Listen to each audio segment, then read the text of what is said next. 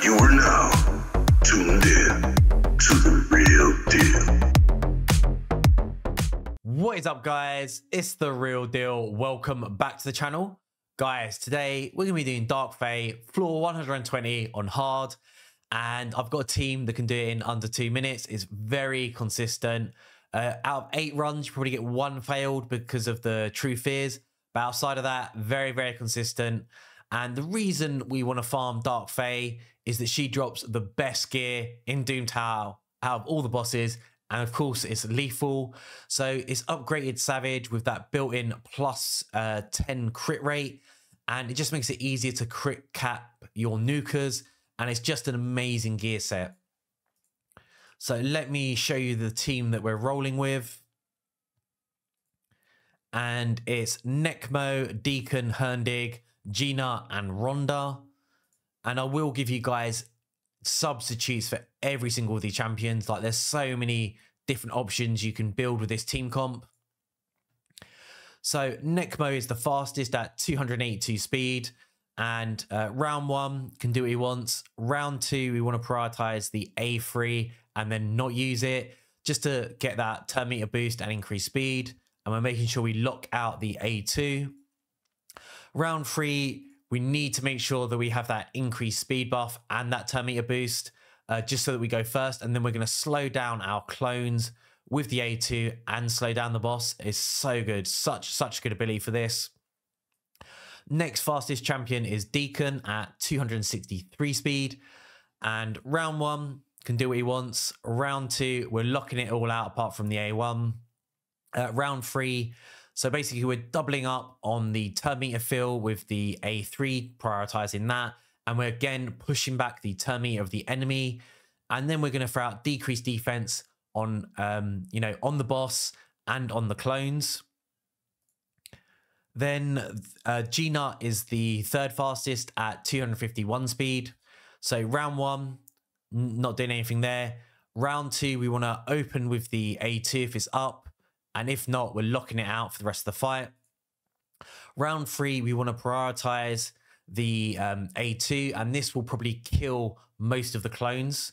And then we want to open up with uh, the um, A3, which is going to do a huge amount of damage on the boss because that's just how Gnut rolls. Then we got Ronda at 221 speed. Uh, round one, she can do what she wants.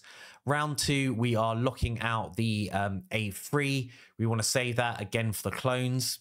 Uh, so we're going to open up with the A3, killing the clones and then locking it out. And then we want to prioritize the A2 because it does the most amount of damage. Um, and that will help just speed up things on the boss. And then the slowest at 215 is Hurndig. So round one, we are going to lock out Arcane Tempest, the A2. Then we want to open up with the A2. So again, this is just going to increase damage that we do to the waves, just speed up the run a little bit. Uh, round three, we want to prioritize the um, A2. So again, this is going to help kill any clones that do stay up. And then we're going to open up with the A3. So this will push back the turn on the boss. And we just sort of want to try and do this one as much as possible. So that's the team setup. Let's roll the clip and then I'll go through all the subs with you. Here we go, guys. So Nekmo coming in, boosting that turn meter, slaying the enemy. Deacon, drop defense, pushing back turn meter. Gnut with a big slam. Ronda finishing it off. Um, next wave, you can see they're all Force of Champions. If I wanted to speed this up, I would need to bring in another Spirit Nuka. Um, looking at the team, things that I think I could actually do to improve this is maybe take out Hurndig and bring in Soulbond Bowyer, um, Boa even. Um, you know, she hits hard and being Spirit, she would really help drop this second wave a lot faster. But we're going to probably clear this in about 40 seconds, which is very good. Um, and we'll be on the boss really, really quickly. Um, a real, when you're building your team comps, the champions you want to have in mind is anyone that is super squishy. You want squishy champions for this. Uh, my Nekmo is a little bit tanky, but not too tanky that we can't deal with him. Uh, what I love about Nekmo, though is he does bring in that leech. So if something goes a little bit wrong, you can heal up. Um, you just saw there, Gnut. If you if you know any sort of content you want to turn into a speed run, I think just chuck in Gnut and he will just do that for you. Um, he's just so so good at it. Um, yeah, and we're just gonna now, you know, we've taken out um the clone team, we've taken out that single clone, uh, we survived the true fear, and that's just a case of slowly chipping away at the boss. Um, but yeah, I will go through subs for every single champion. Um, Gnut is a difficult one to replace though. Um, basically, if you take away Gnut, you're probably going to have to bring in two allures to cover him. And if you bring in two allures, um, it goes from about a two minute run to about a five minute run. It's still pretty consistent. Um, not as consistent as this though, but it does slow things down a lot. And look, you can see we're like, oh my God, we're not going to do two minutes. Oh, yes, we are. Here's Gnut finishing it off with that clutch A3. I mean, just one of the best uh, PvE champions in the game.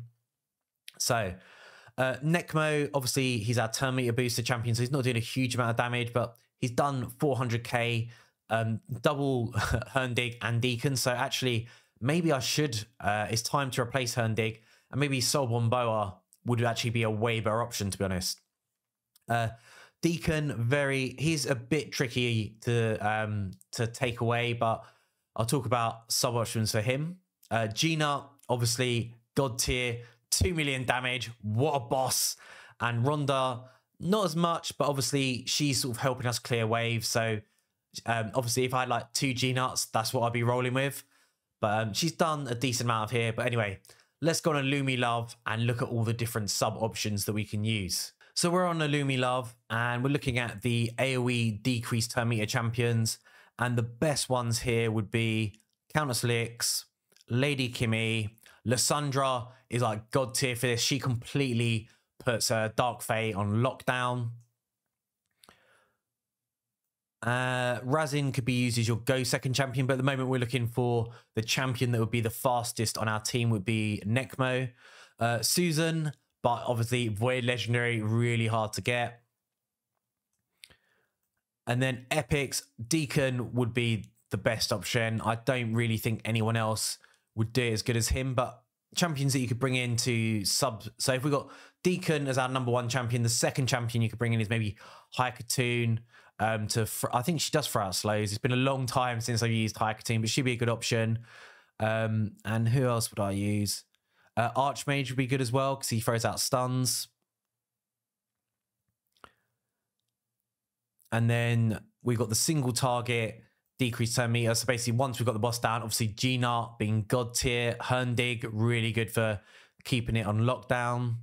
Again, Lyssandra, Lady Kimi, uh, you could use Scylla Drakes, but she can't. You have to make sure she's squishy, otherwise she might be a bit too tanky.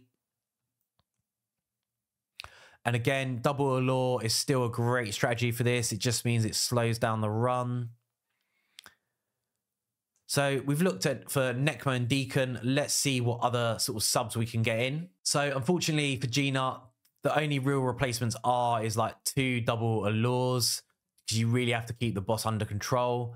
Um, but for Hurndig, there's a lot of options. So we've got two rares that could fill his shoes, and that's Soulbond Boa, um, Bowyer, Boa. Uh, and then we've got um, Coldheart, obviously God tier Void Rare. Um, Epics, I don't think there's anyone that could really fill those shoes. Maybe Lua can hit pretty hard. Um, and she does have control as well. So probably just Lua. Um, actually, yeah, and otherwise, um, damage dealer wise as well, like Royal Guard um, would be a great option. Anyone that hits really, really hard. It does AoE damage like Trunda as well. Um, yeah, so meter control here, Gnut, Hurndig. That's pretty much the only nukers here that I can see that would fill his shoes. Um, AoE wise, Big'Un would be great. Um, Foli as well, Gorgrid. Um, obviously, Void Legendary, but he is a beast. Not in Stone Skin, of course, though, because that will mess up the run.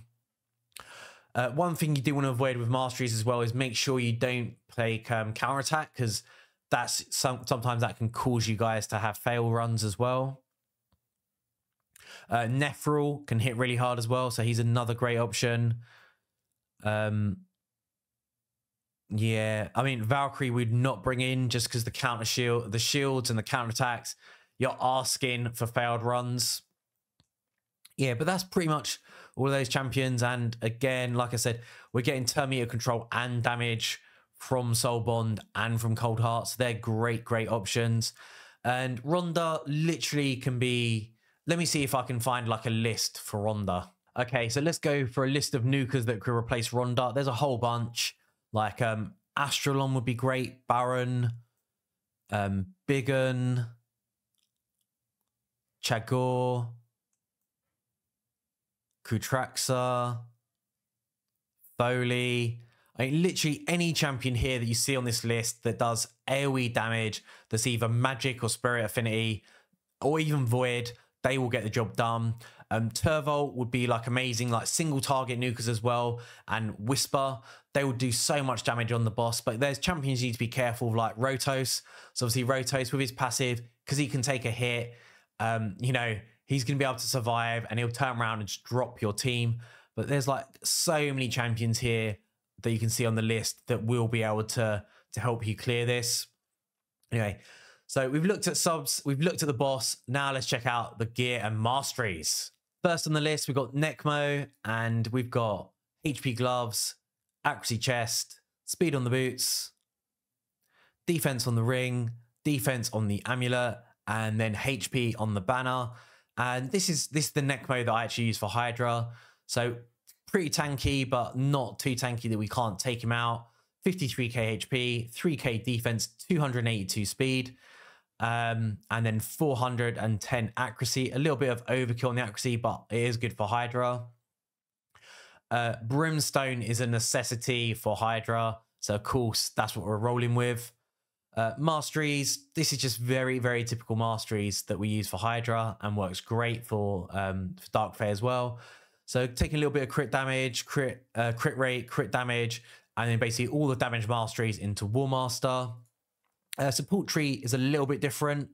So we're taking Arcane Celerity and Rapid Response. So they're both masteries that are going to help boost our turn meter. Uh, lasting gifts uh, just means that our speed buff can la- uh, last longer on our champions, keeping us faster and Master Hexer just to keep our debuffs on the boss for longer. So Deacon in double perception and a broken set. And we've got crit rate gloves, accuracy on the chest, speed on the boots, defense on the ring, defense on the amulet, and then accuracy on the banner. Total stats 46k HP, 2.9k defense, 263 speed, almost crit capped, uh, 100 crit damage ish, and then 400 accuracy. Again, you just want them to be squishy, and that's why we've got the crit damage gloves. Uh, sorry, crit rate gloves, just to try and improve our damage. Fully booked, and then masteries, just very, very standard stuff. Again, going like for damage into War Masters, and then support tree, uh, and just taking lasting gifts and Master Hexer again. So this is the Gnut that we've got, and he's a bit of a budget build. So we got perception uh, and two pieces uh, crit damage. So we've got crit damage on the gloves, accuracy on the chest, speed on the boots, defense on the ring, crit damage on the amulet, and then uh, accuracy on the banner. 40k HP, 3.3k defense, 251 speed, uh, crit capped, 268 crit damage, and then 386 accuracy. Um, so I use him for Hydra and Knight as well. So really, really good build. Um, we've taken Phantom Touch, and that is just because of Knight. Um, otherwise, I would probably take uh, Soul Reap. And then Masteries, um, again, pretty, pretty standard stuff. Making sure we take Giant Slayer for those triple hits. And Cycle Violence is a must because if we get a big hit with that A3, there's a good chance we can uh, reduce the cooldown on that. And then Master Hexer is essential as well, just to keep our debuffs up for as long as possible as well. So we've got Ronda in Lethal and Cruel. Um, gloves, crit damage, attack on the chest, speed on the boots. I would prefer these to be attack percentage, Uh, luckily, we got some really good rolls on these boots, so actually they're still pretty decent. Uh, attack on the ring, crit damage on the amulet, and then attack on the banner. 31k HP, nice and squishy. 6k attack, 221 speed, crit capped, and 261 crit damage. Um, so this build, I've built her particularly like this because I wanted her to be super fast, just to help me deal with Wukong. So that's why she's so fast. Um, unfortunately, she's not the best nuke on my account. Otherwise, she'd have better gear on and she would have attack boots. Of course, we're taking Soul Reap um, just because it's such a good blessing. Uh, masteries, just your typical standard nuke builder masteries. Um, you could take out Retribution and swap it for Cycle Revenge just to help us deal with Dark Fae. But for Arena, of course, you want to be taking Retribution. And we've got Whirlwind of Death because if she's getting kills and she does get kills, it just helps speed her up. And it's also good for Arena as well because if you kill Wukong, you want to be fast just so if he does res or anything, you can just cycle back round to Ronda and just drop him again. Uh, Opportunist as well, just great for Arena. And we're taking Helm Smasher. Again, all for Arena, but it still works on Dark Fae, so it's not a big deal. And last but not least, we've got Hurndig in Savage and Perception. Perception, Perception, and he is a hard champion to build. He is stat hungry. Um, so we've got crit damage gloves, attack on the chest, speed on the boots, attack on the ring, crit damage on the amulet, and then accuracy on the banner. 32k HP, almost 4k attack, 215 speed. We're not even crit capped with him, and 230 crit damage and 315 accuracy. Um, so yeah, he needs a lot of stats. He needs attack, he needs speed, he needs crit rate, he needs crit damage and accuracy. Uh, really, really hard to get all those stats on him. Um, no blessing on him, but if I was to take one, of course it'd be Soul Reap, just so you can get the the reset on his A1. Uh, masteries, we did go for in the support tree for him just to help give him a bit more accuracy so he can push back that turn meter. And again, sort of sort of standard stuff going on, making sure we take Helm Smasher, because um, I did used to use him in Arena a little bit. Uh, Whirlwind of Death, because if he does kills people, it's going to boost his speed. And Cycle of Violence, because if he does a big hit, it just means that we can reset one of his abilities. So that's pretty much the end of the video, guys. Thank you so much for watching. Please leave me a cheeky thumbs up. Make sure you smash, smash, smash that subscribe. I'll catch you all in a video soon. Peace!